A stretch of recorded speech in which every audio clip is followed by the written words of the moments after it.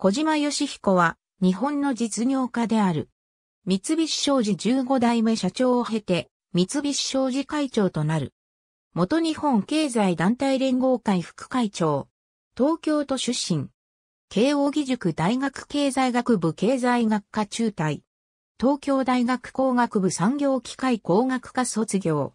海外で仕事がしたいとの希望から商社に就職し、三菱商事社員としての人生を歩んだ。同社では製鉄所関連などの業務に長く携わるとともに、複数の海外勤務も経験している。英語は得意ではないと自認するが、英語力と頭の良さは無関係、下手な英語でも自分の意見をしっかり言うとして、日本の若者には海外での活躍を推奨するとともに、自らも国際社会における積極的な活動を続けている。現在の東京都世田谷区に生まれる。東京学芸大学附属小学校、中学校、東京都立日比谷高等学校を経て、1960年、慶応義塾大学経済学部経済学科に入学した。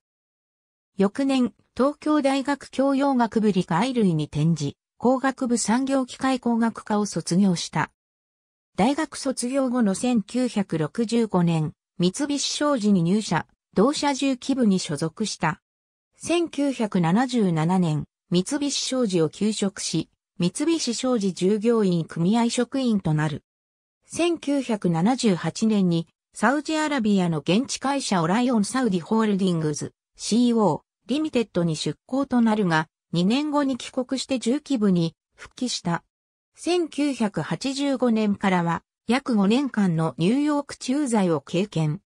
1992年、当時同社社長だった牧原実の下での同社社長室会事務局部長となった。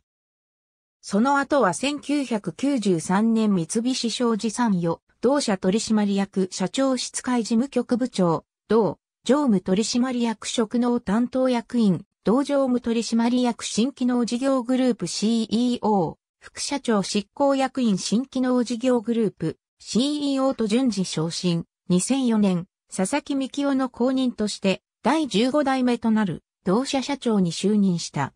2010年6月より同社会長。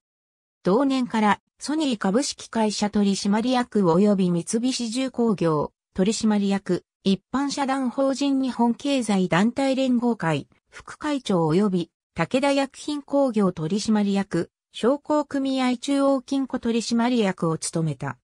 2010年1月、スイスで開催された世界経済フォーラム年次総会において共同議長を務めた。同会議での共同議長は小島を含めた6人であり、他はネスレ CEO、ポール・ブルケやデュポン CEO、エレン・クルーマン、アイセサイ銀行 CEO のチャンダ・コッチャルらであった。一般財団法人産業遺産国民会議会長。2016年春の叙勲で朝日大受賞を受賞。ありがとうございます。